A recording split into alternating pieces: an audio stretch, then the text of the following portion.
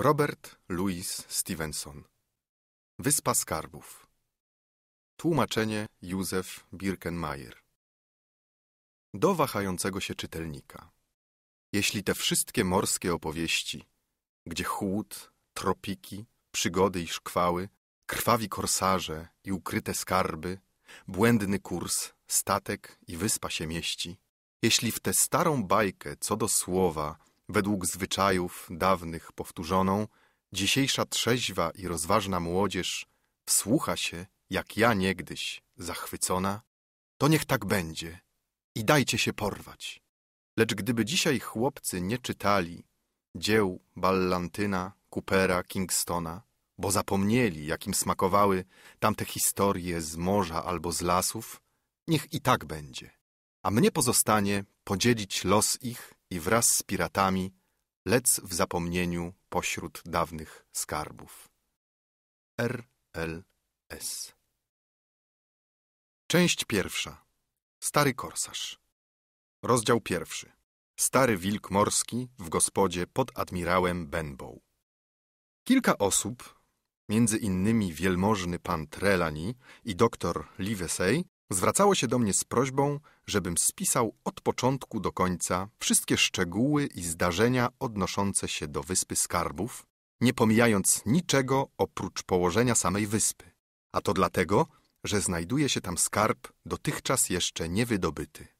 A więc dziś, roku pańskiego 1700, biorę pióro do ręki i cofam się do czasów, gdy mój ojciec prowadził gospodę pod admirałem Benbow i gdy pod naszym dachem rozgościł się stary, ogorzały marynarz z blizną od szabli.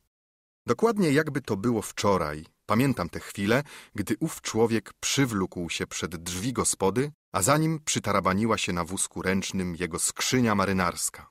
Był to mężczyzna rosły, muskularny, ciężki, o orzechowo-brunatnej twarzy. Na barki przyodziane w brudny, niegdyś błękitny kubrak, spadał mu harcap, jakby w dziegciu unurzany. Ręce chropowate i popękane kończyły się czarnymi i połamanymi paznokciami. W poprzek policzka blado przeświecała brudnosina kresa, znak od szabli. Pamiętam, jak rozglądał się dokoła po zatoce i według swego zwyczaju pogwizdywał, aż wybuchnął głośno starą piosenką żeglarską, którą później śpiewał tak często. Piętnastu chłopów na umrzyka skrzyni, jo ho, ho i butelka rumu. Głos miał przeraźliwy, choć trzęsący się od starości. Rzekłbyś, że go strojono i stargano na kołowrocie kotwicy. Po chwili zapukał do drzwi jakimś podobnym do lewarka kawałkiem kija, którym się podpierał.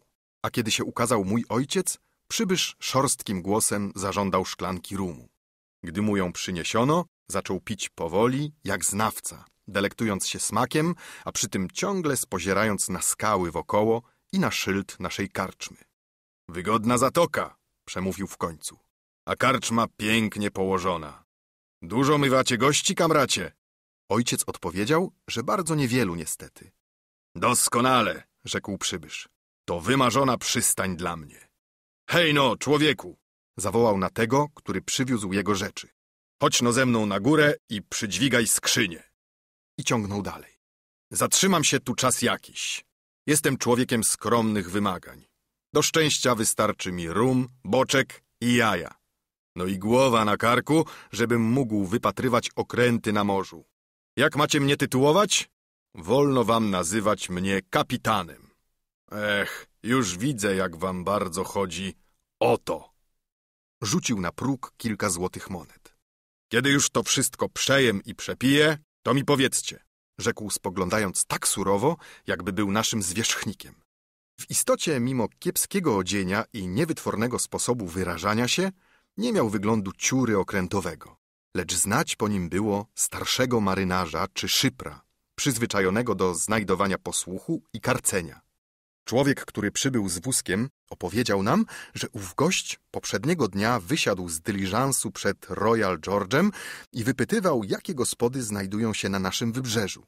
Ponieważ, jak przypuszczam, o naszej gospodzie mówiono dobrze i wspomniano, że leży na uboczu, wybrał ją więc na miejsce zamieszkania. Tylko tyle zdołaliśmy dowiedzieć się o naszym gościu. Był to człowiek zazwyczaj bardzo milczący. Po całych dniach przebywał nad zatoką lub na skałach z mosiężną lunetą. Co wieczór przesiadywał koło kominka w kącie pokoju bawialnego i popijał zawzięcie rum rozcieńczony wodą. Przeważnie nie odzywał się. Gdy go zagadywano, rzucał spojrzenie nagłe i surowe i fukał przez nos jak róg okrętowy używany podczas mgły. Niebawem, jak my, tak i ludzie, którzy bywali w naszym domu, przekonali się, że należy go zostawić w spokoju. Co dzień, gdy wracał z włóczęgi, pytał, czy nie przechodzili gościńcem jacy podróżnicy morscy. Zrazu myśleliśmy, że tęskni za ludźmi tego samego pokroju i dlatego wciąż o to pyta. Później jednak zauważyliśmy, że właśnie od nich stronił. Ilekroć jakiś marynarz wstąpił pod admirała Benbow, a czynili to od czasu do czasu niektórzy wybierając się do Bristolu drogą nadmorską, kapitan zawsze przyglądał mu się przez zasłonięte drzwi, zanim wszedł do izby gościnnej. W obecności takiego człowieka zawsze siedział cicho jak trusia. Co do tego przynajmniej ja nie miałem wątpliwości, gdyż do pewnego stopnia sam podzielałem niepokój kapitana. Razu pewnego wziął mnie na ubocze i obiecał, że co miesiąc na pierwszego będzie mi wypłacał srebrne cztery pensy, jeżeli będę czatował na żeglarza z jedną nogą. I natychmiast dam mu znać, skoro przybędzie. Dość często, gdy z nadejściem pierwszego dnia miesiąca dopominałem się o swą należność, fukał przez nos i przeszywał mnie pogardliwym wzrokiem.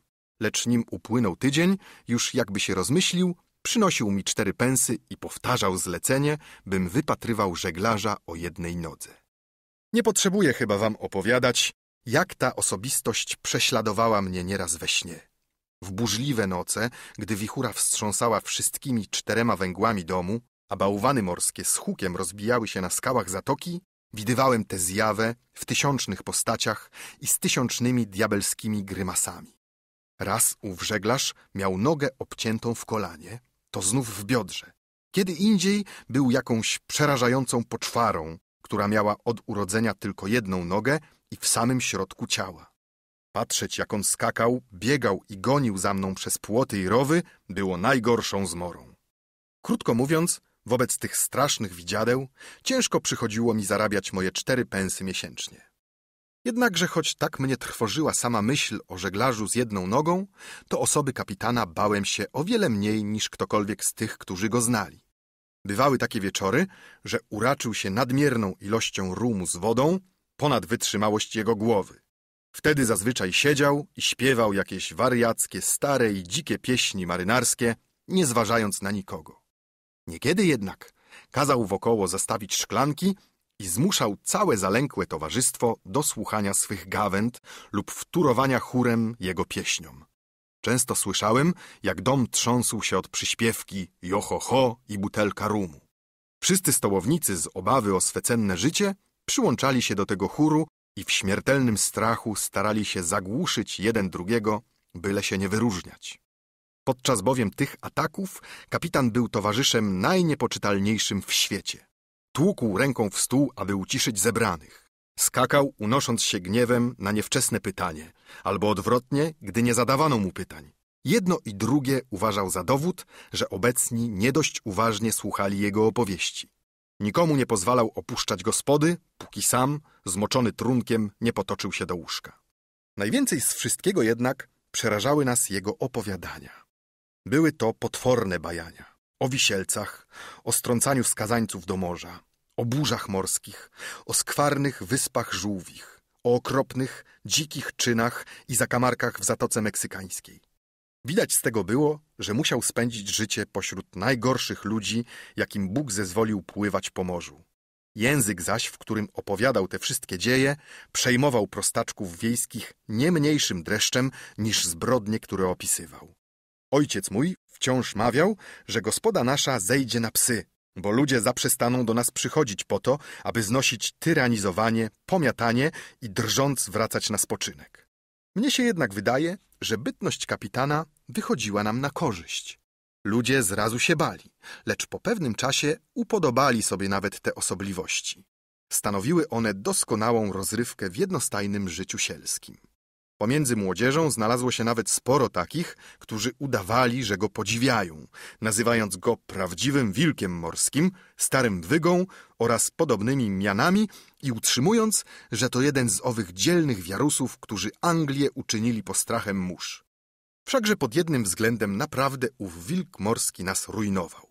Mieszkał u nas tydzień po tygodniu, miesiąc za miesiącem, aż w końcu pieniądze, które dał z góry za kwaterę i wikt, dawno się wyczerpały, a ojciec już nigdy nie mógł się odważyć zażądać więcej. Jeżeli kiedy bąknął o należności, kapitan parskał przez nos tak głośno, że to parskanie można było uważać za ryk i przeszywającym spojrzeniem wyświęcał go spokoju. Widziałem, jak po każdej takiej odprawie ojczulek załamywał ręce. I jestem przekonany, że ta zgryzota oraz to życie w ciągłej grozie przyspieszyły w znacznej mierze jego śmierć przedwczesną i nieszczęśliwą. Przez cały czas swego pobytu u nas kapitan nie zmienił żadnego szczegółu w swej odzieży. Raz tylko nabył u przekupnia kilka par pończoch. Gdy jedna poła jego kapelusza oberwała się i opadła w dół, pozostawił ją w tym obwisłym stanie, choć dawała mu się wyznaki na wietrze. Nigdy nie zapomnę widoku jego kubraka, który tak często łatał własnoręcznie w swym pokoju na piętrze, że w końcu łata nakrywała łatę. Listów nigdy nie pisał ani nie otrzymywał. Z nikim nie rozmawiał oprócz sąsiadów i to przeważnie tylko wtedy, gdy wypił za wiele rumu. Nigdy nikt z nas nie widział, żeby wielka skrzynia podróżna była otwarta. Raz tylko się rozgniewał, a było to już pod sam koniec, gdy ojciec mój biedny dogorywał na suchoty, które zabrały go nam ze świata. Pewnego popołudnia, o dość późnej godzinie, przybył do nas doktor Livesey, aby obejrzeć chorego.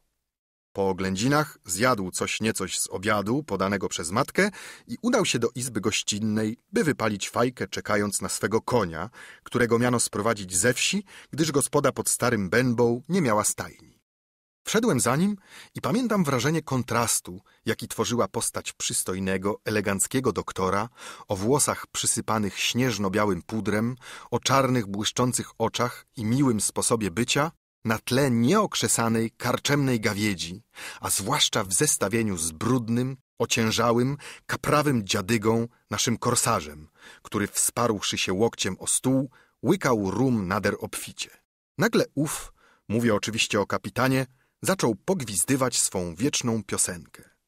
Piętnastu chłopów na umbrzyka skrzyni, joho ho i butelka rumu. Diabli i trunek resztę bandy wzięli, joho ho i butelka rumu. Pierwotnie przypuszczałem, że owa skrzynia umrzyka nie oznacza nic innego jak ową wielką skrzynię we frontowym pokoju. I myśl ta często kojarzyła mi się w snach z upiorem żeglarza o jednej nodze. Lecz w tym czasie jużeśmy dawno przestali przywiązywać większą wagę do słów tej pieśni. Tego wieczoru nie była ona już nowością dla nikogo oprócz doktora Liveseya. Zauważyłem, że nie wywarła na nim miłego wrażenia. Przez chwilę patrzył z gniewem na śpiewającego, po czym znów wdał się w rozmowę z ogrodnikiem, starym Taylorem, o nowym sposobie leczenia reumatyzmu. Tymczasem kapitan coraz bardziej zapalał się w śpiewie. Wreszcie grzmotnął ręką w stół, co jak nam było wiadomo stanowiło znak nakazujący milczenie. Natychmiast wszyscy umilkli, jedynie doktor Livesey głosem dźwięcznym i łagodnym prowadził w dalszym ciągu rozmowę poprzednio rozpoczętą, co parę słów pykając prędko fajeczkę. Kapitan wpił w niego źrenicę, znów huknął pięścią w stół. Spojrzał jeszcze groźniej, a na koniec bluznął prostackim, szorstkim przekleństwem. Stolić pysk! Tam, na międzypokładzie. Czy pan do mnie przemawia? zapytał doktor. Gdy ów gbur odpowiedział przytakująco i rzucił nowe przekleństwo, doktor mu na to. Powiem panu tylko jedno, że jeżeli będziesz pan nadal pił rumu tyle co teraz, to świat wkrótce pozbędzie się pewnego wstrętnego szubrawca. Wściekłość starego marynarza nie miała granic. Skoczył na równe nogi, wydobył składany nóż marynarski i otworzywszy go, począł kołysać na dłoni, grożąc przygwożdżeniem doktora do ściany. Doktor bynajmniej się nie zmieszał, lecz począł mówić do niego przez ramię tym samym głosem co poprzednio. Może nieco donośniej, by wszyscy w izbie mogli dosłyszeć, ale zawsze spokojnie i z powagą. Jeśli natychmiast pan nie schowa tego noża do kieszeni, ręczę słowem honoru, że znajdziesz się pan w najbliższym czasie przed sądem przysięgłych.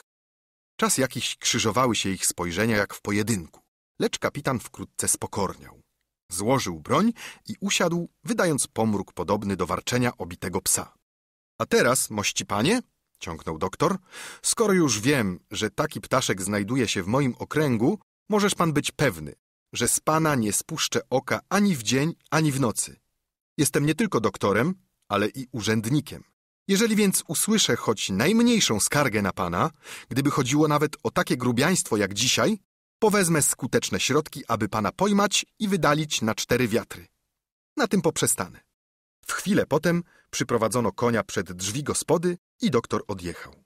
Owego wieczora i przez wiele następnych kapitan zachowywał się bardzo przykładnie.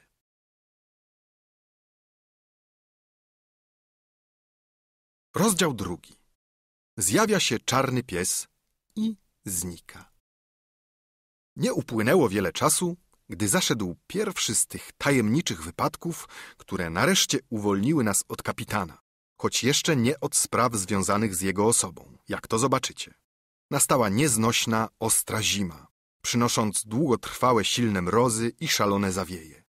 Od początku było do przewidzenia, że biedny mój ojciec prawdopodobnie nie dożyje wiosny.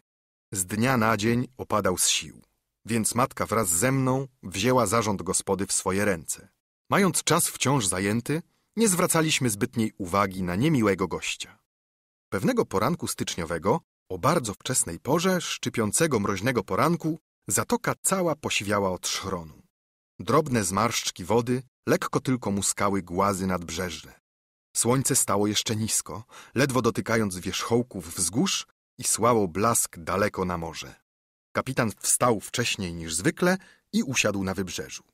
Pod szeroką połą starego, błękitnego kubraka chwiał się przywieszony kordelas. Pod pachą widać było mosiężną lunetę. Kapelusz zsunął się na tył głowy. Pamiętam, że gdy kapitan zszedł ze swej czatowni, widniał jeszcze na tym miejscu jego oddech na kształt smugi dymu, a ostatnim dźwiękiem, jaki doszedł mnie z jego strony, gdy zwrócił się ku wielkiej skale, było głośne prychanie, świadczące o gniewnym usposobieniu. Snać nie otrząsnął się jeszcze z myśli o doktorze Liweseju. Matka bawiła właśnie na piętrze u ojca, a ja zastawiałem stół do śniadania na przybycie kapitana. Gdy wtem otworzyły się drzwi izby gościnnej i wszedł mężczyzna, którego dotychczas nigdy nie zdarzyło mi się widzieć. Miał cerę żółtą jak wosk i brakowało mu dwóch palców u lewej ręki, choć miał przy boku kordelas, nie wyglądał jednak na wojownika. Dybałem na żeglarzy, czy to o dwóch nogach, czy o jednej, a więc człowiek nowo przybyły wprawił mnie w kłopot. Nie miał w sobie nic z żeglarza, a pomimo to zalatywało od niego morzem. Zapytałem, czym mogę służyć. Zażądał rumu, lecz gdy zabierałem się do wyjścia z pokoju, chcąc spełnić jego żądanie, rozsiadł się za stołem i skinął na mnie, bym podszedł bliżej. Przystanąłem, trzymając pod pachą serwetę. Chodź no bliżej, synku, rzekł nieznajomy. Chodź no bliżej. Postąpiłem krok naprzód. Czy ten stół zastawiacie dla mego towarzysza Billa? Zapytał ów, świdrując mnie zezem. Odparłem, że nie znam jego towarzysza Billa. Nakrywam zaś do stołu dla osoby mieszkającej w naszym domu i zwanej przez nas kapitanem. Niech mu będzie, rzekł ów. Wszystko mi jedno, czy mój towarzysz Bill nazywa się kapitanem, czy też nie. Ma bliznę na policzku, a przy tym bardzo miłe obejście z ludźmi, zwłaszcza przy piciu. Jako dowód weźmy więc, że wasz kapitan ma bliznę na policzku. I jeśli wola, zaznaczę jeszcze, że jest to prawy policzek. Ach tak, już ci o tym mówiłem. Wobec tego, czy mój towarzysz Bill znajduje się w tym domu? Wyjaśniłem, że wyszedł na przechadzkę. Dokąd, mój synku? Dokąd poszedł? Wskazałem na skałę i udzieliłem wskazówek, kiedy i jaką drogą kapitan prawdopodobnie będzie wracał oraz odpowiedziałem na kilka pytań. Wówczas przybysz odezwał się. No, to już na pewno sobie popiję serdecznie z mym towarzyszem Billem.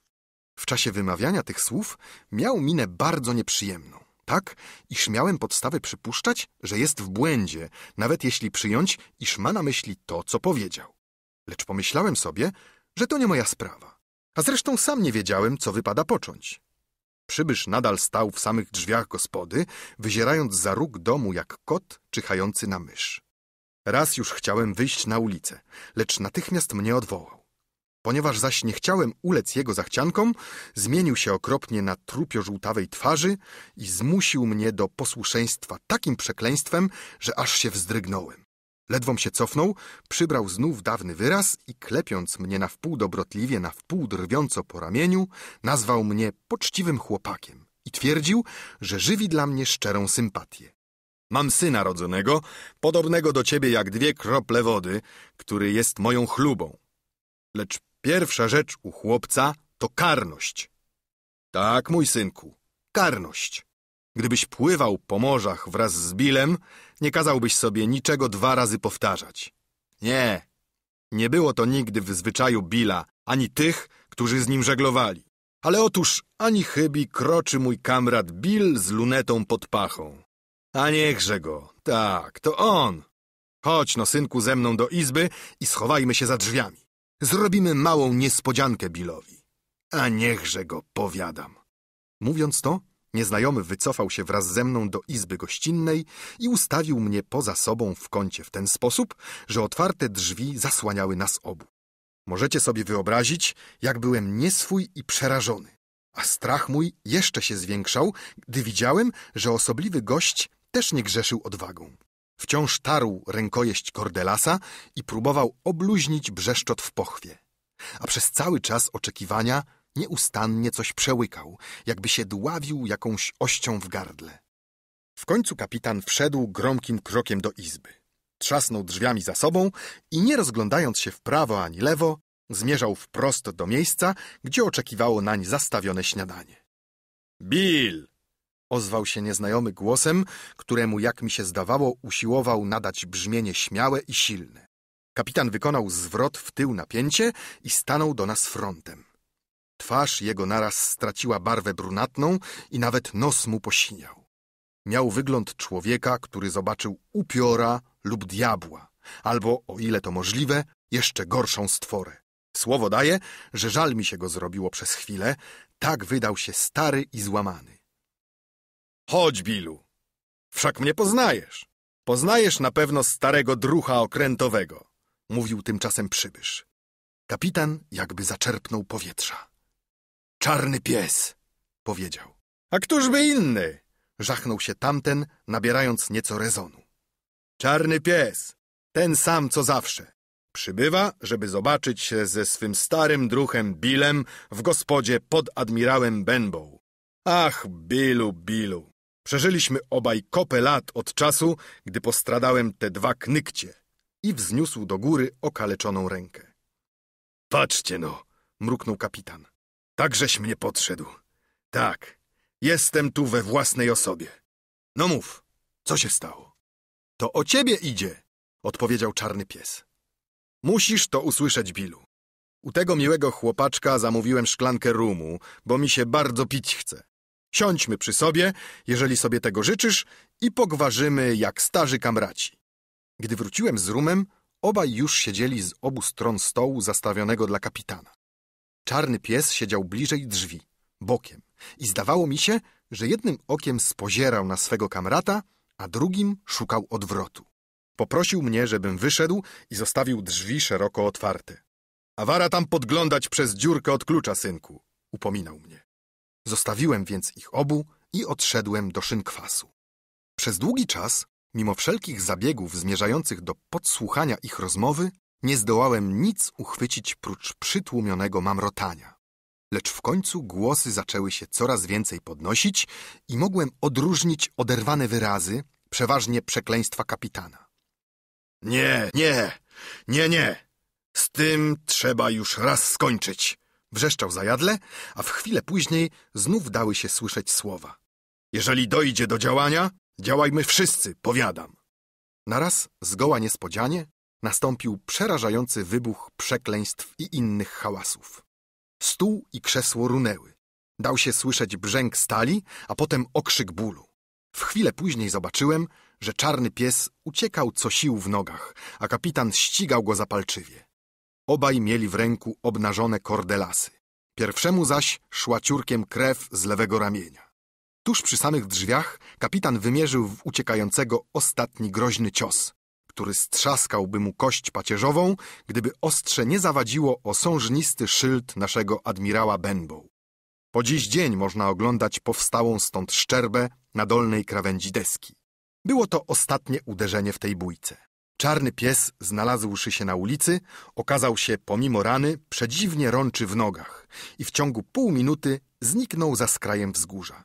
Natomiast kapitan stanął jak wryty, wlepiając oczy w deskę szyldu. Następnie przetarł kilkakrotnie oczy ręką i wreszcie zawrócił do domu.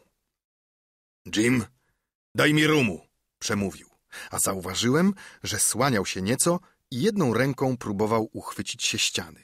Czy pan raniony? Zawołałem. Rumu, powtórzył. Muszę stąd odejść. Rumu, rumu! Wybiegłem, by mu go przynieść. Lecz ponieważ byłem wytrącony z równowagi tym wszystkim, co zaszło, więc stłukłem szklankę i pobrudziłem kran. Gdy wybierałem się powtórnie po trunek, usłyszałem nagły łoskot w jadalni.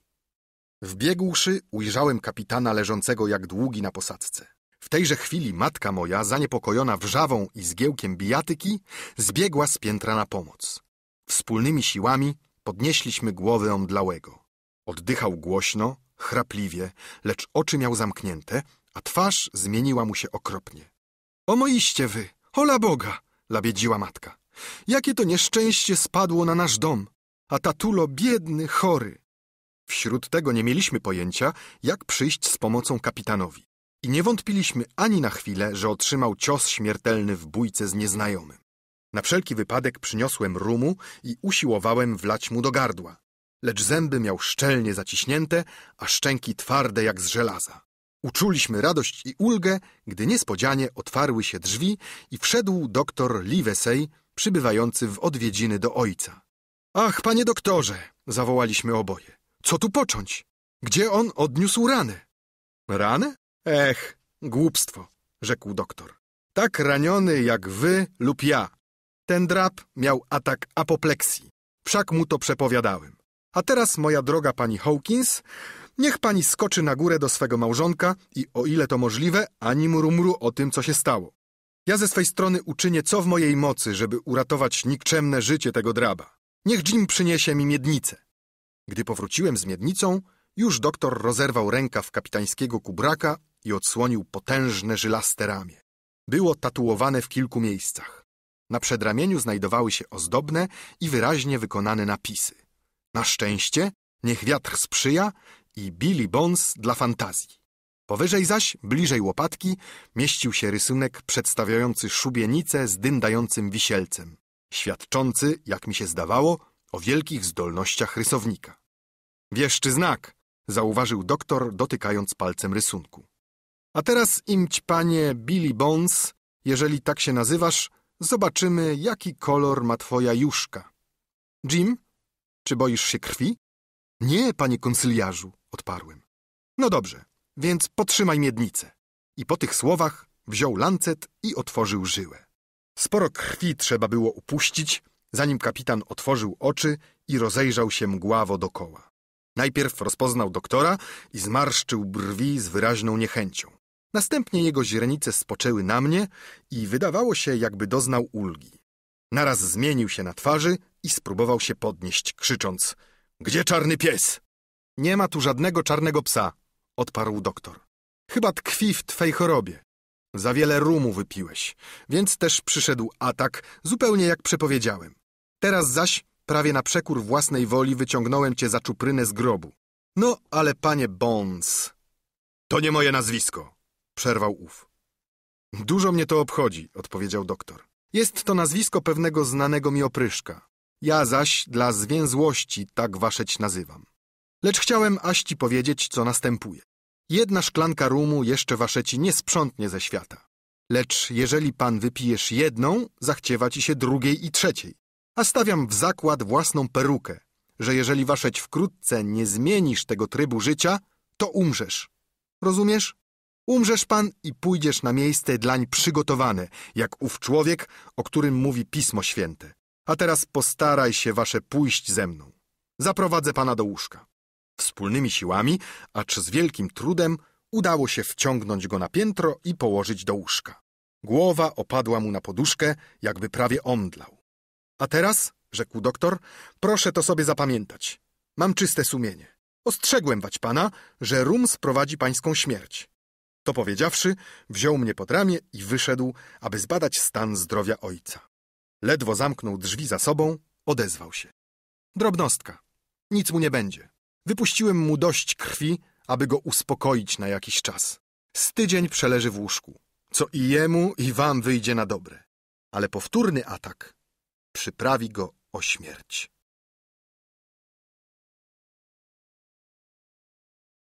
Rozdział trzeci. Czarna plama. Około południa udałem się do pokoju kapitana, niosąc lekarstwa i chłodzące napoje. Kapitan leżał zupełnie tak samo, jakeśmy go pozostawili. Jedynie głowę miał podniesioną nieco wyżej. Widać w nim było jednocześnie wycieńczenie i podniecenie. Jim, odezwał się do mnie, jesteś tu jedynym człowiekiem, którego cenię. I wiesz, że zawsze byłem dobry dla ciebie. Nie było miesiąca, żebym ci nie dał srebrnych czterech pensów.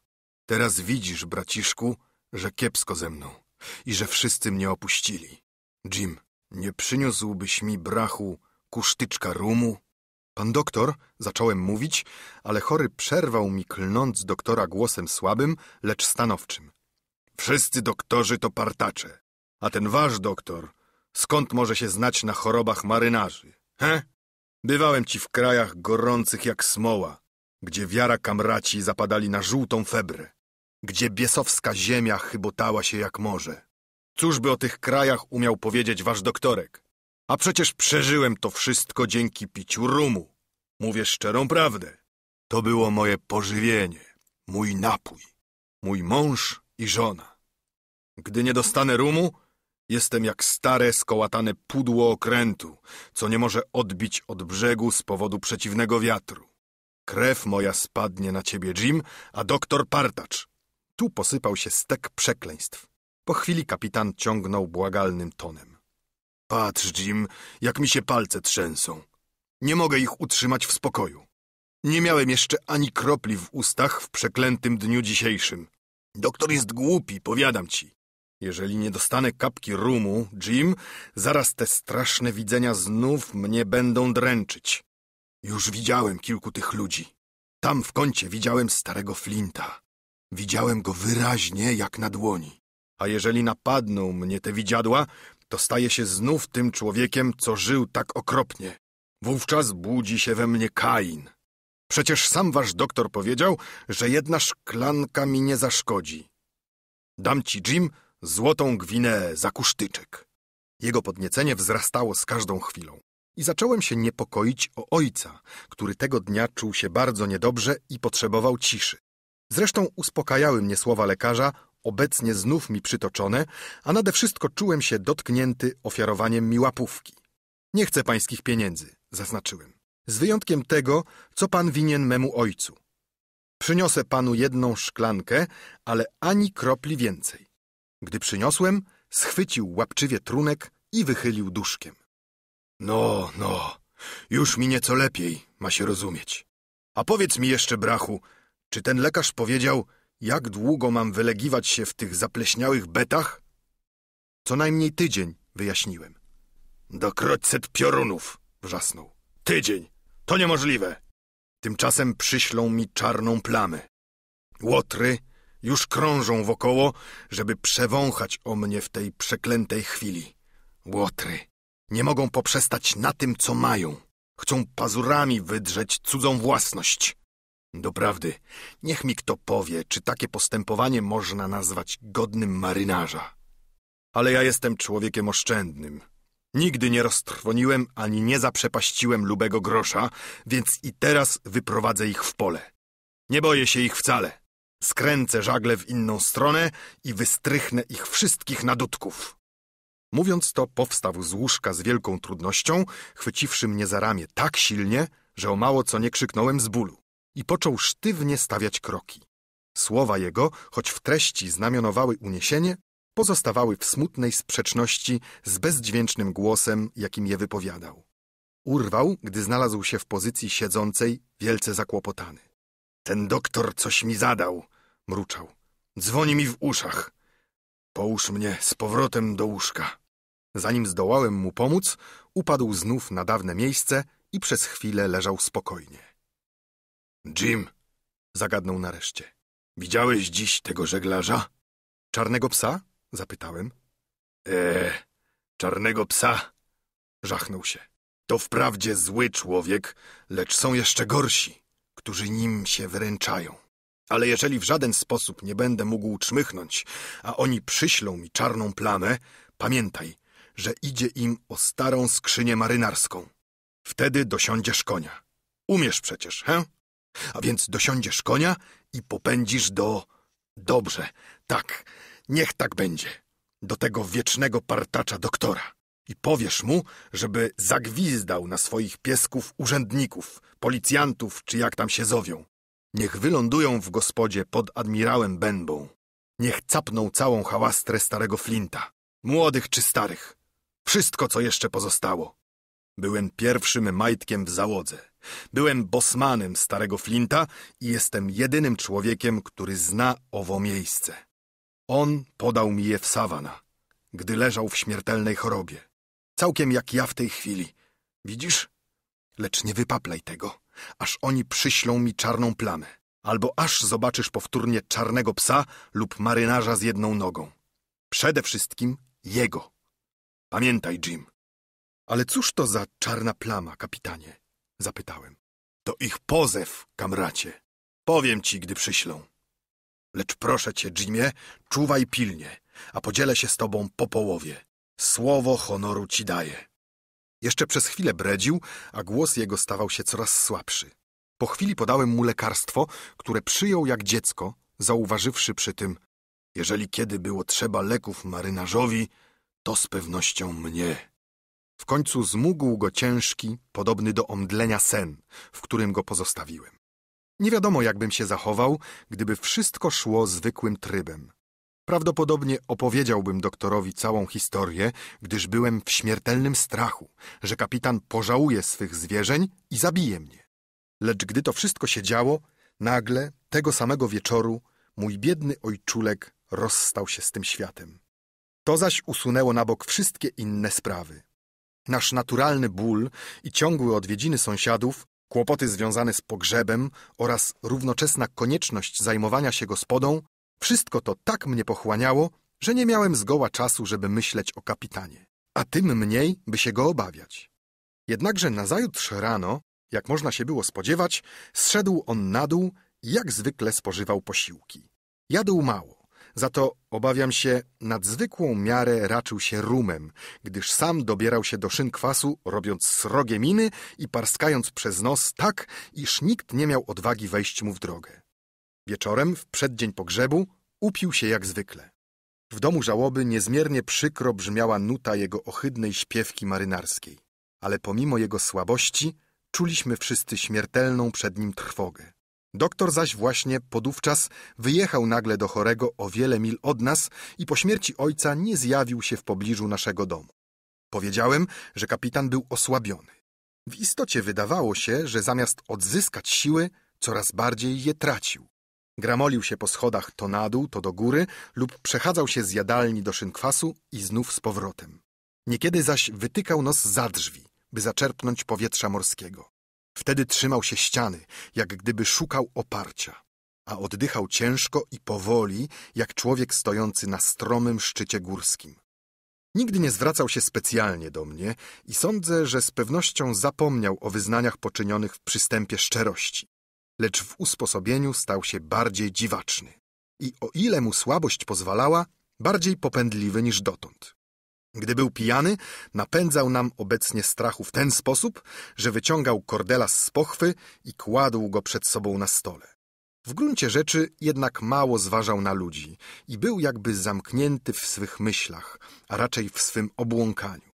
Razu pewnego, ku wielkiemu naszemu zdumieniu, zagwizdał niespodziewanie odmienną melodię, jakby jakiejś sielskiej piosenki miłosnej, której pewno nauczył się w dzieciństwie, zanim zbratał się z morzem. Tak się rzeczy miały.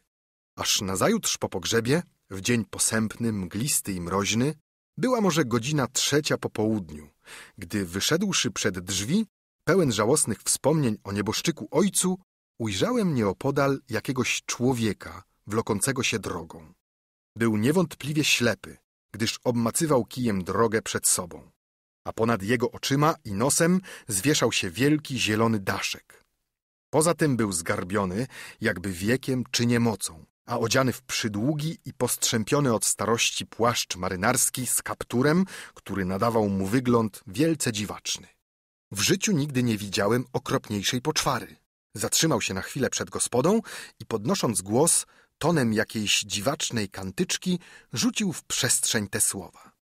Może jakaś litościwa osoba powie biednemu, ciemnemu człowiekowi, który postradał drogocenny dar wzroku w zaszczytnej obronie swej ojczyzny Anglii i miłościwie nam panującego króla Jerzego, gdzie i w jakiej okolicy tego kraju znajduje się w tej chwili.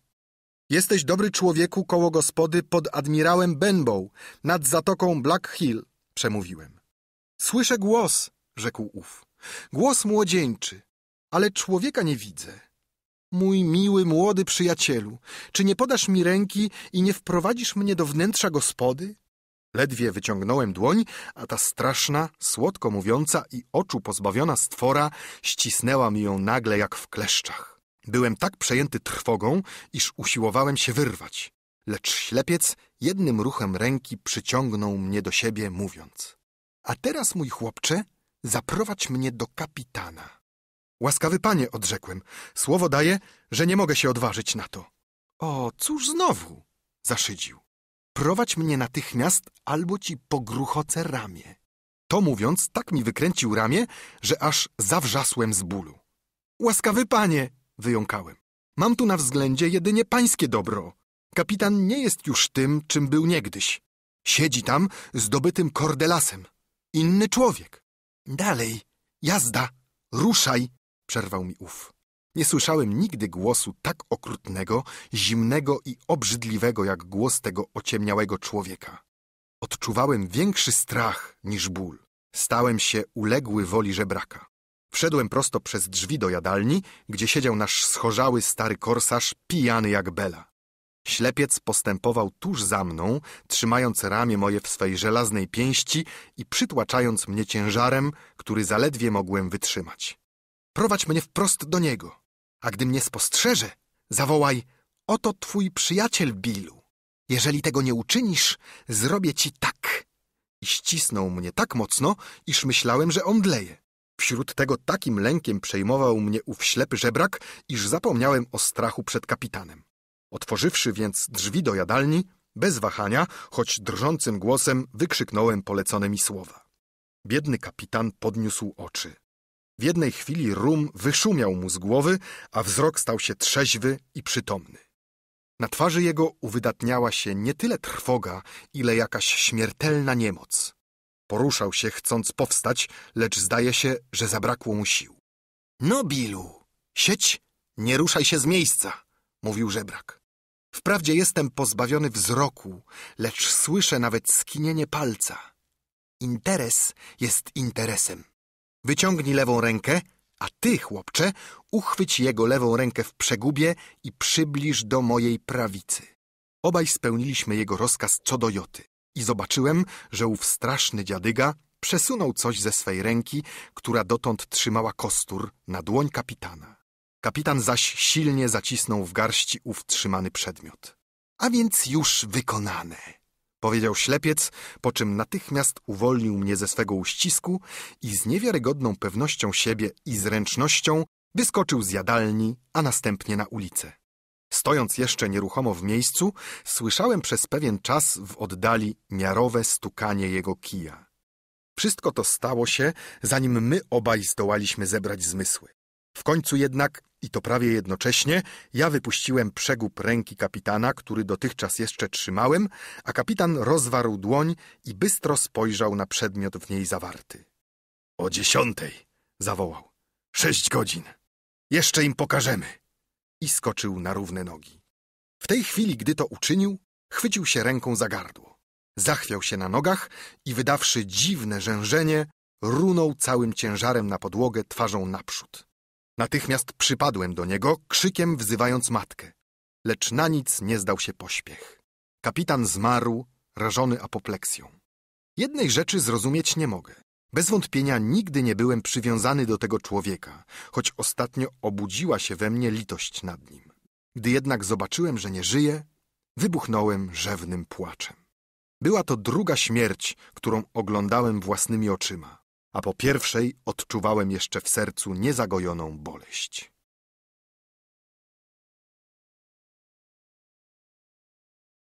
Rozdział czwarty. Skrzynia marynarska. Nie tracąc czasu, opowiedziałem oczywiście matce wszystko, co mi było wiadomo i co może dawno powinienem był jej wyjawić. Zrozumieliśmy od razu, że położenie nasze jest trudne i niebezpieczne.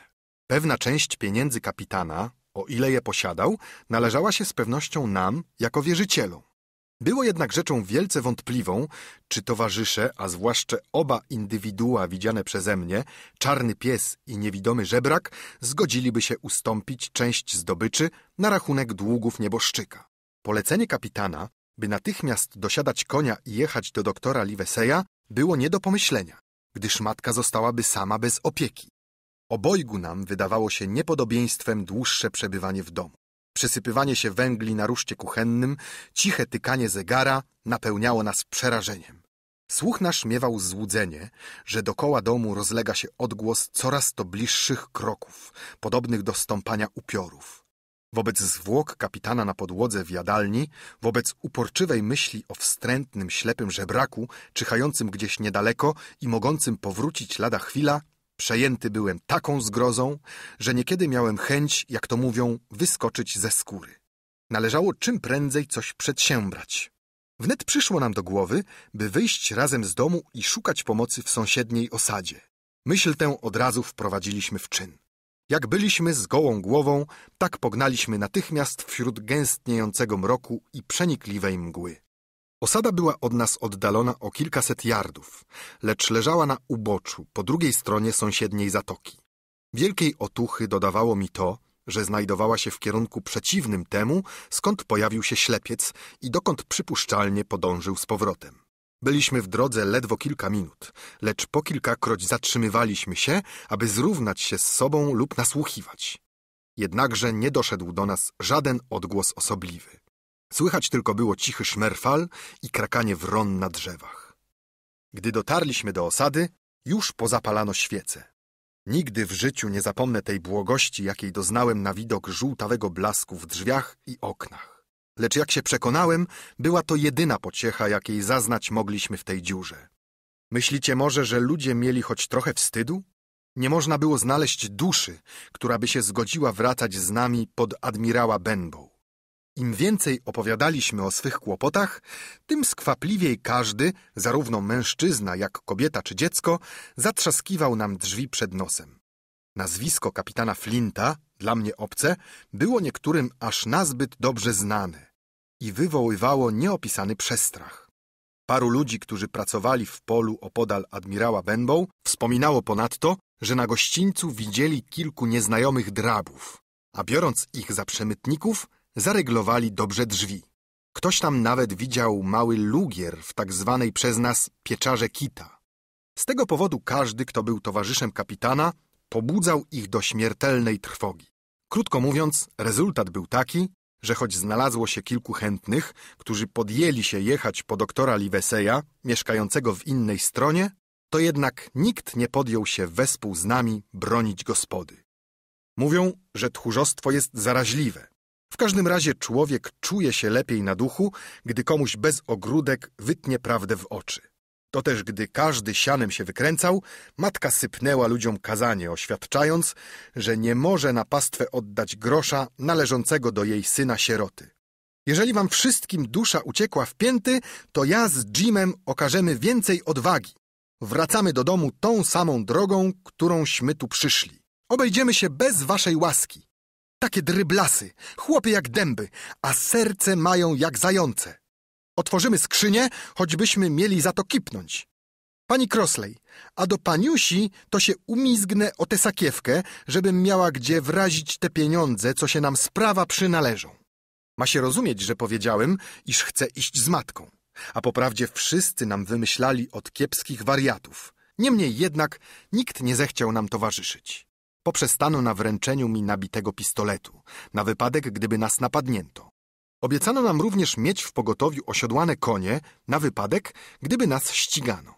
Tymczasem jeden z parobków zabierał się do odjazdu w stronę domu doktora, celem sprowadzenia zbrojnej pomocy. Mogłem dokładnie rozeznać bicie własnego serca, gdy znaleźliśmy się znów w objęciach zimnej nocy w obliczu groźnego niebezpieczeństwa. Zaczął właśnie wschodzić księżyc w pełni, przezierając czerwonawą poświatą poprzez górny rąbek mgły. Wzmogło to nasz pośpiech, gdyż nie ulegało wątpliwości, że zanim dojdziemy do celu, zrobi się jasno jak w dzień, a nasza wyprawa wpadnie w oko jakiemuś czatownikowi. Bez szelestu, błyskawicznie prześliznęliśmy się koło opłotków, nie słysząc ani nie widząc nic takiego, co mogłoby zwiększyć naszą trwogę. Doznaliśmy ogromnej ulgi, gdy drzwi gospody pod admirałem Benbow zamknęły się za nami. Nie tracąc czasu, zasunąłem zawory. Przez chwilę staliśmy i dyszeliśmy w ciemności. Sam na sam ze zwłokami kapitana. Niebawem jednak matka wydostała świeczkę z kredensu i wkroczyliśmy do jadalni, trzymając się za ręce. Kapitan leżał tak, jakeśmy go porzucili. Na wznak, z otwartymi oczyma, z jedną ręką wyciągniętą przed siebie. Spuść zasłony w oknach, Jimie, wyszeptała matka. Oni tu mogą podejść i szpiegować nas od dworu. Gdy uczyniłem to, odezwała się znowu, wskazując na skrzynię. A teraz musimy skądś wytrzasnąć klucz od tego. Chciałabym wiedzieć, kto ma go dotknąć. Gdy wymawiała te słowa, w jej głosie brzmiało jakby szlochanie. Ukląkłem natychmiast przy zmarłym. Na podłodze, tuż przy jego dłoni, spoczywał mały zwitek papieru, pomazany na czarno z jednej strony. Nie miałem wątpliwości, że to jest właśnie owa czarna plama. Podniósłszy ten świstek, znalazłem na jego odwrotnej stronie wypisane pięknym, czytelnym charakterem następujące zwięzłe zdanie. Masz czas dzisiaj do dziesiątej wieczorem. Mamo, jemu dali czas do dziesiątej, powiedziałem. A właśnie w tej samej chwili stary nasz zegar począł wybijać godzinę. Ten nieoczekiwany dźwięk przejął nas dreszczem. Jednak uspokoiliśmy się niebawem, gdyż przekonaliśmy się, że jest dopiero szósta. Jim, a ten klucz? Nagabywała matka. Przetrząsnąłem wszystkie kieszenie nieboszczyka, jedną po drugiej. Kilka drobnych monet, naparstek, kłębek nici i parę wielkich igieł, laseczka prasowanego tytoniu, nadgryziona z jednego końca, scyzoryk z zakrzywioną rączką, kompas i pudełko z chubką i krzesiwem. Oto wszystko, co się tam kryło. Zacząłem rozpaczać. Może znajduje się na szyi, domyślała się matka. Przemógłszy wielką odrazę, rozchłestałem mu koszulę koło szyi, tam zaś, zgodnie z domysłem, znaleźliśmy klucz wiszący na brudnej tasiemce, którą przeciąłem własnym kozikiem kapitana. Nabrawszy wielkiej nadziei po tym odkryciu, popędziliśmy cwałem na górę do pokoiku, gdzie kapitan nocował od tak dawna i gdzie jeszcze od dnia jego przybycia stała skrzynia. Jej wygląd zewnętrzny niczym się nie różnił od wyglądu innych kufrów marynarskich. Na wieku widniał monogram B, wypalony żelazem. Rogi były poobijane nieco i starte przez długie używanie oraz niedelikatne obchodzenie się z nim. Podaj mi klucz, rzekła matka. Wprawdzie zamek się zacinał, lecz zdołała go przekręcić i odrzuciła w mgnieniu oka wieko. Silna woń tytoniu i dziegciu wionęła ze środka. Lecz na wierzchu było widać jedynie zupełnie przyzwoity garnitur. Bardzo starannie oczyszczony i poskładany. Matka wyraziła przypuszczenie, że kapitan nie miał go jeszcze nigdy na sobie. Pod spodem był istny groch z kapustą. Kwadrant, blaszany kubek, kilka laseczek tytoniu, dwie pary nader pięknych pistoletów, sztaba lanego srebra, stary zegarek hiszpański i wiele innych świecidełek niezbyt wielkiej wartości i przeważnie wyrobu zagranicznego. Para mosiężnych kompasów oraz pięć czy sześć osobliwych muszli z Indii Zachodnich. Często później zastanawiałem się nad tym, po co on te wszystkie rupiecie woził z sobą wszędzie w ciągu swego włóczęgowskiego, występnego i pełnego niebezpieczeństw życia. Dotychczas oprócz srebra i drobiazgów nie znaleźliśmy niczego, co mogłoby przedstawiać jakąś wartość, a żaden z tych przedmiotów nie stanowił dla nas upragnionej zdobyczy. Pod spodem znajdował się stary płaszcz żeglarski, wyblakły od soli morskiej w wielu podróżach. Matka odrzuciła go niecierpliwie i ujrzeliśmy ostatnie przedmioty znajdujące się na dnie skrzyni. Paczkę owiniętą w ceratę i wyglądającą na plik papierów oraz worek z płótna żaglowego, który przy poruszeniu odezwał się brzękiem złota. Pokażę tym łajdakom, że jestem uczciwą kobietą, oświadczyła matka. Odbiorę swój dług i ani grosza więcej. Trzymaj sakiewkę pani Kroslejowej. I zabrała się do odliczania z worka kapitańskiego sumy, którą był nam winien. Przeliczone pieniądze przesypywała do sakiewki trzymanej przeze mnie. Było to zajęcie żmudne i uciążliwe, gdyż pieniądze pochodziły z różnych krajów i były rozmaitej wielkości. Były tam i dublony, i luidory, gwinee, talary i nie wiem już jakie inne monety. Wszystko zmieszane pospołu. Na domiar złego, gwinee, na których jedynie znała się moja matka, spotykało się prawie że najrzadziej. Gdyśmy już doszli niemal do połowy, nagle położyłem rękę na ramieniu matki, gdyż w cichym, mroźnym powietrzu posłyszałem dźwięk, który mi ściął krew w żyłach. Było to miarowe stukanie laski ślepego żebraka na zamarzniętym gościńcu. Odzywało się raz po raz, coraz bliżej, podczas gdyśmy siedzieli z zapartym tchem. Ktoś począł się dobijać do drzwi gospody. Później słychać było, jak przekręcano klamkę i coś chrobotało koło zamku, jakby napastnik próbował się włamać. Potem nastała chwila dłuższej ciszy, zarówno z zewnątrz, jak i wewnątrz. W końcu rozpoczęło się na nowo kusztykanie laski żebraka i ku niewysłowionej radości naszej i zadowoleniu znów cichło zwolna w miarę oddalania się, aż ucichło zupełnie. Mamo, odezwałem się, weź wszystko i uciekajmy stąd.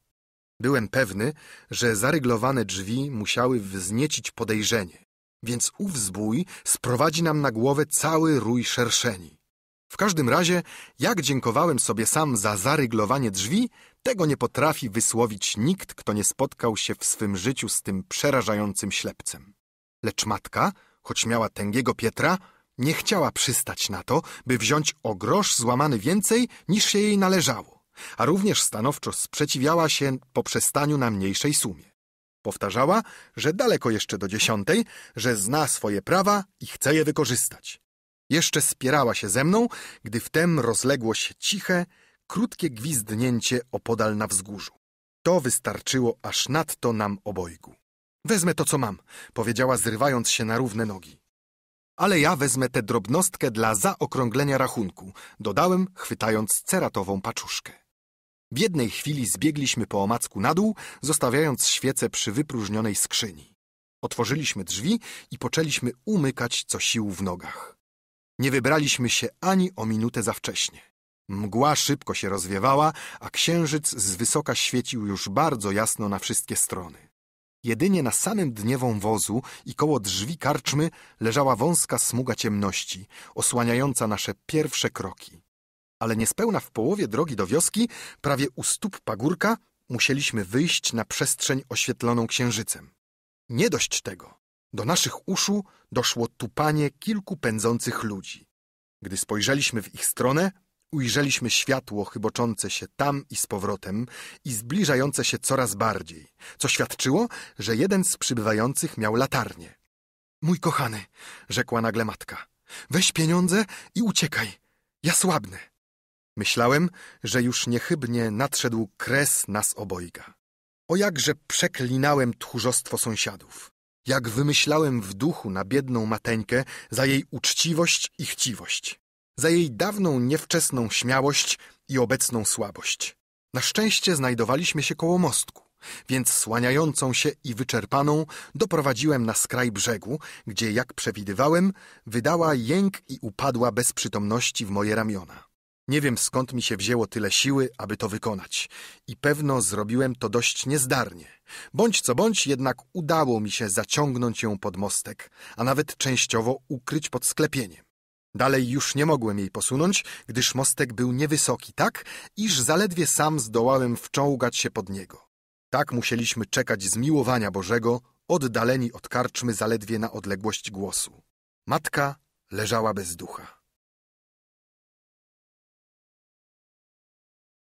Rozdział piąty. Dokończenie opowieści o ślepym żebraku. Jednakże ciekawość przemogła trwogę. Nie mogłem wytrzymać na jednym miejscu, lecz wgramoliłem się z powrotem na brzeg, gdzie chowając się za krzakiem Janowca, mogłem przyglądać się drodze wiodącej do naszej gospody. Ledwo stanąłem na czatach, już zaczęli się schodzić nasi wrogowie. Biegło ich siedmiu czy ośmiu całym pędem, aż tentent ich stóp rozlegał się nierytmicznie wzdłuż drogi. Człowiek z latarnią wyprzedzał ich o kilka kroków. Trzech biegło razem, trzymając się za ręce. Pomimo mgły wyobrażałem sobie, że środkowy mężczyzna w tej trójce był to ślepy żebrak. W chwilę później jego głos potwierdził moje domysły. Rozwalić drzwi! zawołał. Według rozkazu, odpowiedziało kilka głosów. Do admirała Benbow przypuszczono szturm. Latarnia posunęła się naprzód. Zaraz zauważyłem, że się zatrzymali, a rozmowa przeszła w przytłumiony pomruk, jak gdyby napastnicy się zdumieli, widząc drzwi otwarte. Lecz przerwa trwała krótko, ponieważ ślepiec znów powtórzył rozkaz. Głos jego brzmiał donośniej i przeraźliwiej, jakby był roznamiętniony zniecierpliwieniem i wściekłością. Naprzód! Do środka, do środka! Darł się i obrzucał ich przekleństwami za opieszałość. Czterech czy pięciu z nich posłuchało od razu. Dwóch pozostało na gościńcu wraz ze starszym dziadygą. Przez chwilę było cicho. Potem dał się słyszeć okrzyk zdziwienia, a wreszcie głos jakiś wrzasnął. Bill nie żyje! Ślepiec znów ich złajał za ociąganie się. A wy wykrętne łotry! Niech go który zrewiduje, a reszta wio! Na górę i znieść te skrzynie! Słyszałem łoskot ich obcasów na naszych starych schodach. Pewno cały dom aż dygotał od tych uderzeń. Za chwilę doleciały do mnie nowe okrzyki zdumienia. Ktoś w pokoju kapitana otworzył na oścież okno z trzaskiem i brzękiem tłuczonego szkła. W blasku księżyca widać było, jak wysunął stamtąd głowę i barki jakiś mężczyzna, który zwrócił się do ślepca stojącego poniżej na ulicy. Słuchaj, Piu, tu już był ktoś przed nami.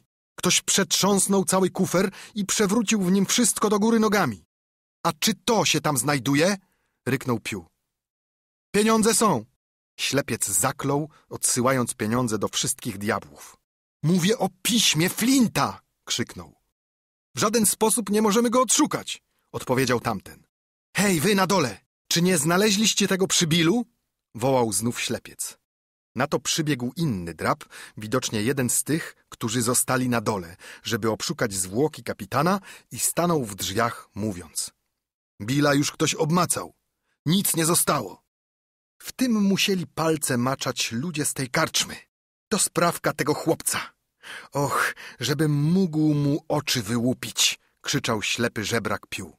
Oni tu byli niedawno. Zaryglowali drzwi, kiedy próbowałem się do nich dostać. Dalej, chłopcy, biegnijcie na wszystkie strony i przyłapcie ich. Z pewnością tu się gdzieś ukryli i siedzą po kątach, bąknął zbójca stojący w oknie. Rozsypcie się na wszystkie strony i szukajcie ich. Przetrząśnijcie cały dom, powtarzał Piu, waląc kosturem o ziemię. Hałas ogromny zapanował w całej naszej starej gospodzie. To tu, to tam rozbrzmiewały ciężkie stąpania. Przewracano sprzęty, otwierano kopnięciami drzwi, aż skały odpowiadały głośnym echem. Na koniec zbójcy poczęli wychodzić jeden za drugim na ulicę, oznajmiając, że niepodobna nas odnaleźć. Równocześnie ten sam gwizd, który poprzednio spłoszył matkę i mnie w czasie liczenia pieniędzy kapitana, dał się ponownie słyszeć wyraziście w ciszy nocnej. Lecz tym razem dwukrotnie. Mniemałem wprzód, iż jest to surma bojowa niewidomego dziada, wzywającego całą szajkę do ataku. Teraz jednakże przekonałem się, że świstanie pochodziło ze zbocza pagórka zwróconego w stronę wioski. Sądząc zaś z wrażenia, jakie wywarło na rozbójnikach, było znakiem, który ostrzegał ich przed nadchodzącym niebezpieczeństwem. To znowu Dirk, rzekł jeden z nich. Dwa razy. Trzeba zawracać, koledzy. Dam ja ci zawracać, baranie, źlił się pił. Dirk był głupcem i tchórzem od urodzenia. Nie zważać na niego. Oni tu muszą być niedaleko. Nie mogą być daleko. Są gdzieś pod ręką. Rozsypać się i szukać psy jedne. Och, na mą duszę, krzyczał, gdybym miał oczy. Rozkaz ten sprawił niejakie wrażenie. Dwaj opryszkowie wzięli się do poszukiwań tam i sam pośród gratów, lecz jak mi się zdawało, bez entuzjazmu i przez cały czas mając na uwadze własne niebezpieczeństwo. Reszta stała niezdecydowanie na gościńcu. Macie już krocie pieniędzy prawie w garści, wy głupcy, a nie chce się wam powłóczyć nogami. Jeżeli uda się wam to znaleźć, będziecie bogaci jak królowie. Wiecie, że to jest tutaj, a stoicie i udajecie zmęczonych. Nie było między wami takiego, który by się odważył stanąć wobec Billa. I ja to uczyniłem. Ja, człowiek niewidomy. I ja też przez was tracę swe szczęście. Zostanę ubogim włóczęgą, żebrakiem, nie mającym nawet za co napić się rumu, chociaż mógłbym jeździć karetą. Gdybyście mieli choć tyle serca, co najmniejszy robaczek, już byście ich złapali. Daj spokój, Piu. Zdobyliśmy talary, zrzędził jeden ze zbójców. Oni mogli ukryć tę przeklętą rzecz, rzekł inny. Chodź, Piu, weź z sobą Jerzego i nie drzyj gęby. Darcie gęby było tu trafnym wyrażeniem, gdyż wściekłość Piu wzrosła niebywale w miarę sprzeciwu. Wreszcie, gdy rozjuszenie przeszło wszelkie granice, zaczął ich okładać na oślep w prawo i w lewo, a kij jego zadudnił głucho na plecach niejednego z nich.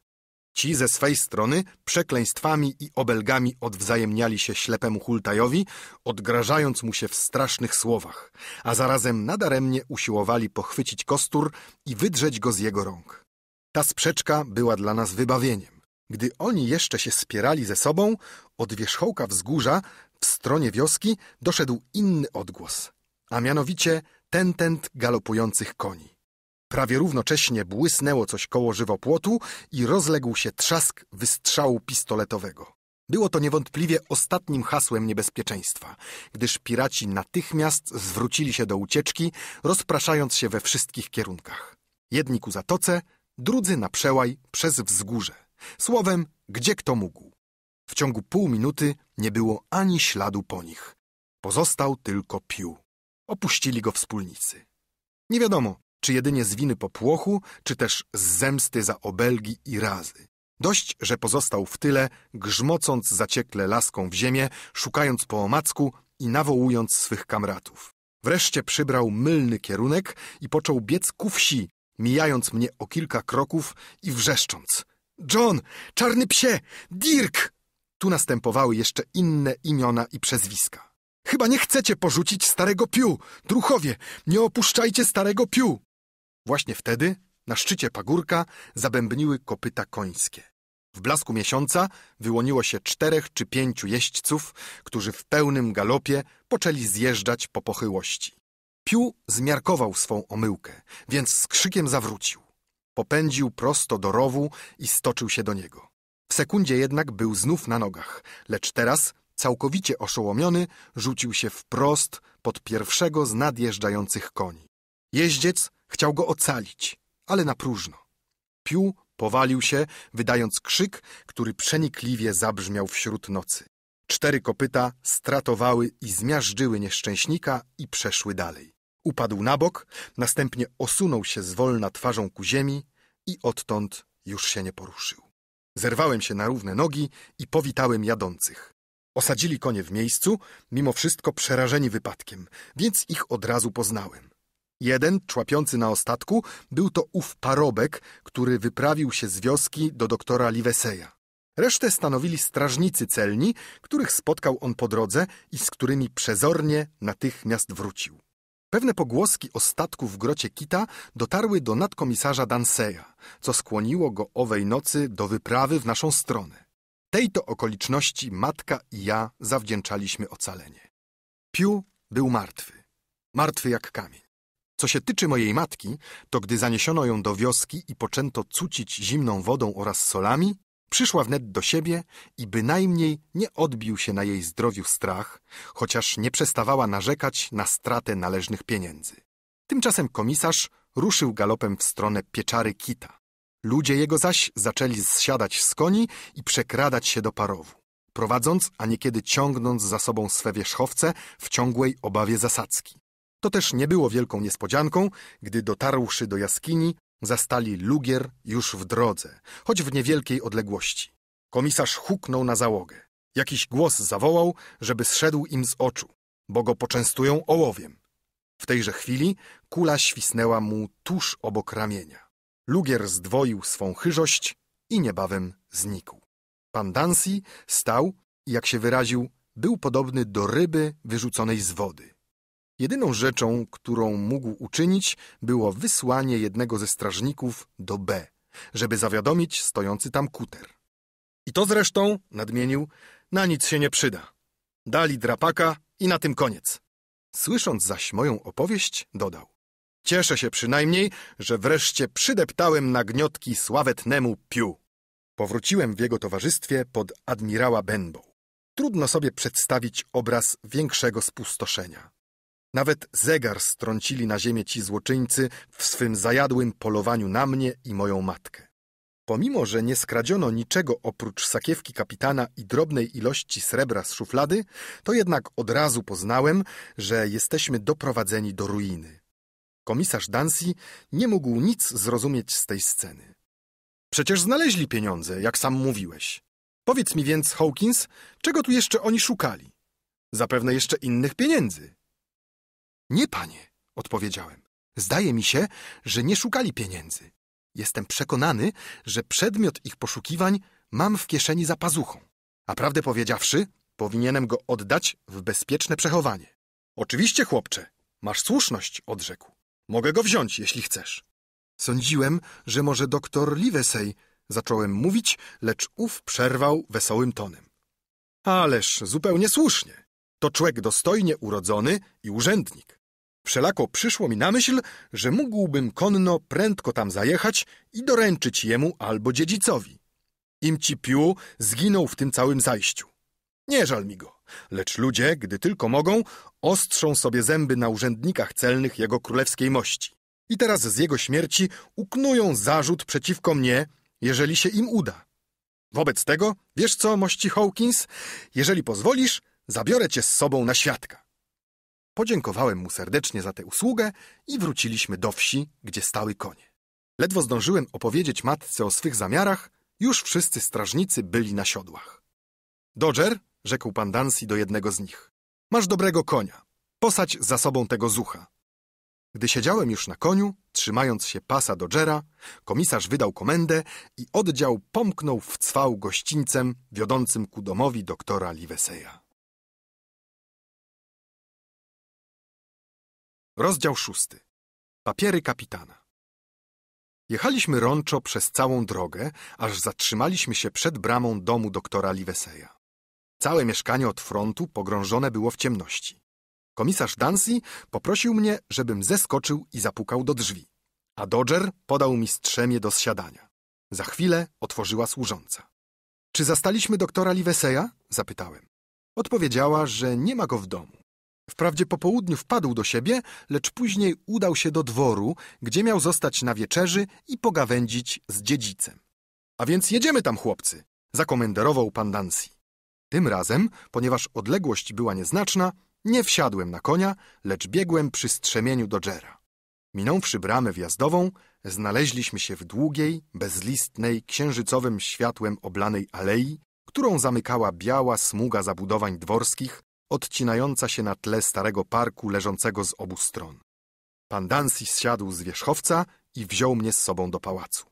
Wpuszczono nas tam na pierwsze słowo. Pokojówka poprowadziła nas przez sień wysłaną kobiercami i wskazała nam w końcu wielką bibliotekę zastawioną szafami pełnymi książek i ozdobionymi popiersiami. Dziedzic wraz z doktorem Liveseyem siedzieli po dwóch stronach płonącego kominka, kurząc fajki. Nigdy dotychczas nie widziałem dziedzica z tak bliska. Był on wzrostu słusznego, ponad sześć stóp wysokości. Tęgi był w miarę. Twarz miał jowialną i nieco rubaszną, opaloną, stwardniałą i pomarszczoną wskutek długich podróży. Brwi miał nadzwyczaj ciemne, żywo poruszające się, co nadawało mu pozory popędliwości. Ale nie robił wrażenia człowieka złego, tylko raptusa i gorączki. Proszę wejść, panie Dancy, powiedział tonem pełnym dostojności i łaskawym. Dobry wieczór, mości Dancy, przemówił doktor, skinąwszy głową. I ciebie witam, kochany Jimie. Jakież bogi was tu przynoszą? Komisarz stanął na baczność, jakby połknął kij i wyrecytował całą historię jak zadaną lekcję. Warto było widzieć, jak obaj panowie pochylili się w przód i spozierali po sobie w zdumieniu i zaciekawieniu, zgoła zapomniawszy o fajce. Gdy posłyszeli, jak moja matka wracała do karczmy, doktor Livesey klepnął się mocno po udzie. Dziedzic zaś krzyknął brawo i złamał długi cybuch swej fajki na kracie kominka. Jeszcze zanim się to stało, pan Trelani, zapewne pamiętacie, że było to nazwisko naszego dziedzica, powstał z krzesła i jął przechadzać się po pokoju. A doktor, jakby chciał lepiej słyszeć, zdjął napudrowaną perukę i siedział tak, wyglądając bardzo śmiesznie z głową pokrytą własnymi, czarnymi, krótko ostrzyżonymi włosami. Gdy pan Dancy dokończył wreszcie swej opowieści, dziedzic odezwał się. Panie Dancy, dzielny z pana człowiek. Co się tyczy przejechania tego czarnego, wstrętnego łajdaka, to panu ów postępek poczytuje za czyn chwalebny, jak rozdeptanie karalucha. A z tego Urwisa Hawkinsa, jak się przekonałem, też ćwik nie lada. Jimie, bądź tak dobry, zadzwoń tym dzwonkiem. Pan Dancy musi napić się piwa. Słuchaj, Jim, rzekł doktor, a masz ty ten przedmiot, na który ci łotrzy urządzali obławę?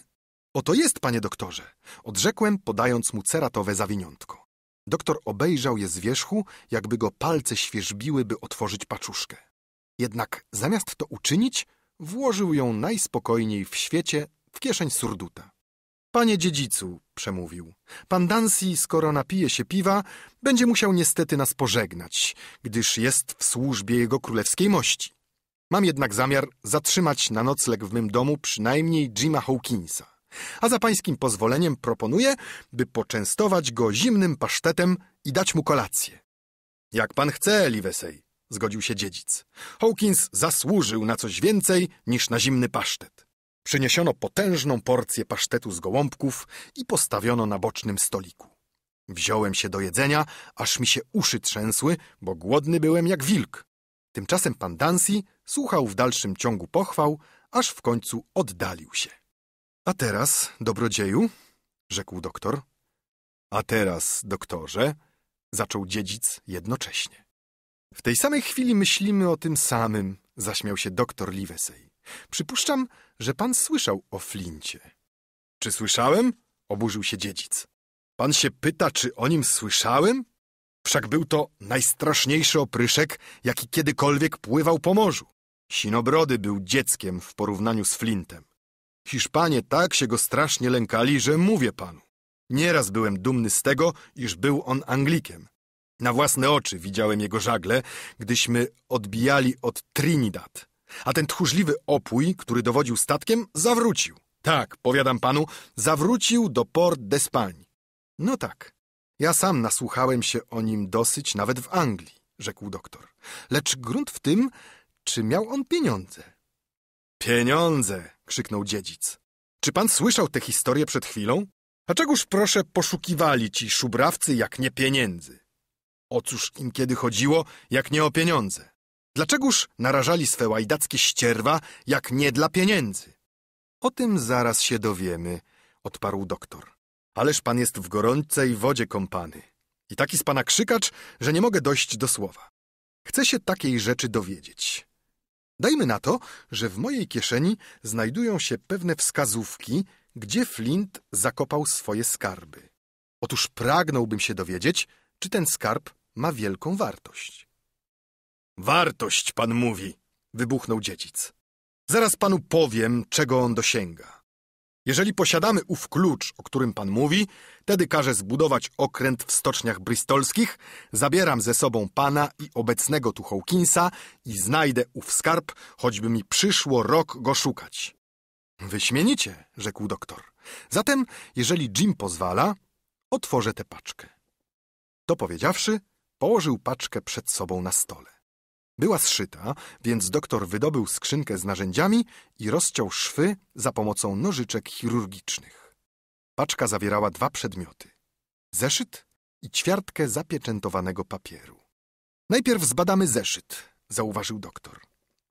Dziedzic i ja staliśmy za nim i spoglądaliśmy poprzez jego ramię, gdy otworzył zeszyt. Ponieważ doktor Livesey skinął był na mnie uprzejmie, ażebym podszedł bliżej do stołu, gdzie spożywałem wieczerze i abym również wziął udział w badaniu. Na pierwszej stronicy było jedynie kilka gryzmołów, jakie mógł nakreślić z nudów lub dla wprawy człowiek mający pióro w ręce. Jeden z napisów był taki sam, jak na tatuowanym ramieniu. Billy Bones dla fantazji.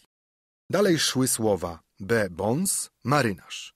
Ani krzty, rumu więcej. W Palm Cay on dostał tego. I kilka innych bazgrot. Przeważnie oderwane wyrazy bez związku i sensu. Nie mogłem żadną miarą dojść do zrozumienia, kim był ów ktoś, co dostał tego. I co mianowicie on dostał. Może nożem w plecy? Któż odgadnąć zdoła?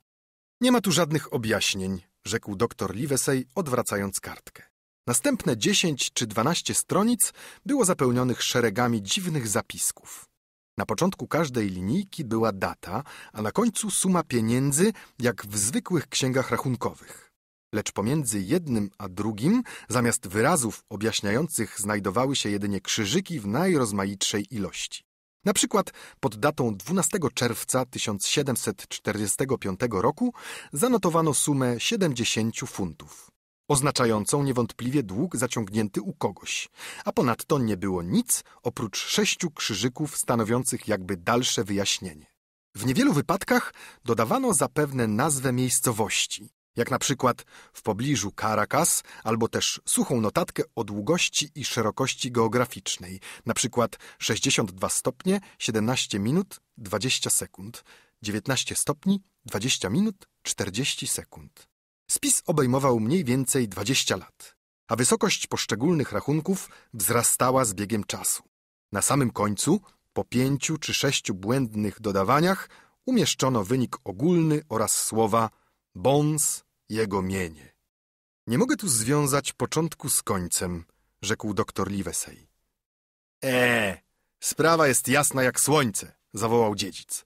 Jest to księga rachunkowa tego przeokrutnego złoczyńcy. Te krzyżyki zastępują nazwy okrętów lub miast, które oni zatopili czy złupili. Te sumy stanowią zdobycz tego obwiesia. A tam, gdzie obawiał się dwuznaczności, widzicie, że dodał bliższe objaśnienie. Na przykład w pobliżu Caracas. Widzicie, do tych wybrzeży Łotrzy przyholowali jakiś nieszczęsny statek. Boże bądź miłości w tym biednym duszom, które przed laty wysadzono na tej koralowej skale. Ma pan rację, rzekł doktor. Co to znaczy być podróżnikiem? Trafnieś pan odgadł. A widzi pan, jak sumy rosną, im więcej kolumny mają cyfr. Ponadto nie było już nic ważnego w całym zeszycie. Co najwyżej na czystych stronicach przy końcu znajdowało się kilka wzmianek o różnych miejscowościach oraz tabela zamiany pieniędzy francuskich, angielskich i hiszpańskich na walutę obiegową. A to ci kutwa, zawołał doktor. Takiego to niełatwo w pole wywieźć. Teraz zabierzemy się do drugiego dokumentu, rzekł dziedzic. Papier w kilku miejscach był zapieczętowany, a zamiast pieczątki użyto naparstka. Może był to ten sam naparstek, który znalazłem w kieszeni kapitana. Doktor z wielką ostrożnością przełamał pieczęcie, a ze środka złożonej ćwiartki wypadła mapa jakiejś wyspy z podaniem długości i szerokości geograficznej, mielizn i głębi, nazw wzgórz, zatok i przystani. Słowem, ze wszystkimi szczegółami potrzebnymi do bezpiecznego zarzucenia kotwicy u jej brzegów. Wyspa ta miała około dziewięciu mil wzdłuż i pięciu wszerz, a kształt jej, rzec można, przypominał opasłego smoka w postawie stojącej. Były tam dwie przystanie bardzo dogodne, bo zamknięte dokoła, a pagórek w samym środku nosił nazwę lunety. Było jeszcze kilka dopisków z daty późniejszej, lecz przede wszystkim były tam trzy krzyżyki nakreślone czerwonym atramentem. Dwa w północnej części wyspy, a jeden na południu. Koło nich zaś, tym samym czerwonym atramentem i drobnym, pięknym pismem, wielce odmiennym od koślawych kulfonów kapitana, wypisano słowa następujące. Tu znajduje się skarb. W górze na odwrotnej stronie ta sama ręka wypisała dalsze objaśnienia. Wysokie drzewo, cypel lunety, kierując się na PN od strzałki kompasu PN, PN, W, Wyspa Szkieletów, W, PD, W i przez wsch. 10 stóp. Sztaby srebra są w północnej skrytce. Można je znaleźć idąc w kierunku wschodniej grani, 10 sążni na południe od Czarnej Skały, zwróciwszy się twarzą ku niej. Broń można łatwo znaleźć na piaskowym wzgórzu, kierunek PN od przylądka północnej zatoki, zwrot na W i ćwierć PN. JF. Było to wszystko, lecz objaśnienia, acz zwięzłe i niezrozumiałe dla mnie, napełniały radością dziedzica i doktora Liweseja. Mości Liwesej, rzekł dziedzic, dasz pan już spokój swej utrapionej praktyce lekarskiej. Jutro odjeżdżam do Bristolu. W ciągu trzech tygodni, co mówię, trzech tygodni, dwóch tygodni, dziesięciu dni będziemy mieli najlepszy statek i najlepszą załogę w Anglii. Hawkins pojedzie z nami jako chłopiec okrętowy. Będziesz imć, Hawkinsie, świetnym chłopcem okrętowym. Wasz mość, panie doktorze, będziesz lekarzem naszej załogi, a ja będę dowódcą okrętu. Weźmiemy ze sobą Redruta, Joyce'a i Huntera. Będziemy mieli pomyślne wiatry, szybką jazdę i niewiele trudności w znalezieniu owej miejscowości. A za to dosyć grosza, by dobrze sobie podjeść, zapruszyć głowy i zagrać w gąskę i gąsiora. Panie Trelani, wtrącił doktor, ja pojadę z panem i ręczę, że i Jim tego samego sobie życzy. Bądźmy więc dobrej myśli co do naszego przedsięwzięcia. Boję się tylko jednego człowieka. Któż to taki? krzyknął dziedzic. Proszę mi powiedzieć imię tego niegodziwca. Mówię o panu, odpowiedział doktor. Gdyż nie umiesz trzymać języka za zębami. Nie jesteśmy jedynymi ludźmi, którzy wiedzą o tym papierze. Ci hultaje, którzy napadli dziś w nocy na karczmę, bez wątpienia zuchwali i nie mający nic do stracenia rębacze i inni, którzy znajdowali się na pokładzie wiadomego statku, a śmiem przypuszczać, że jest ich więcej w pobliżu, spiknęli się wszyscy, żeby zdobyć te pieniądze. Musimy się nieco rozłączyć, aż do czasu, gdy przyjdzie nam odpłynąć na morze. Jim musi na razie pozostać u mnie. Pan weźmie Joyce'a i Huntera i odjedzie do Bristolu. A od początku do końca nie wolno nikomu z nas pisnąć ani słowa o tym, cośmy odkryli. Livesey, rzekł dziedzic, masz pan zawsze słuszność w takich wypadkach. Będę milczał jak grób.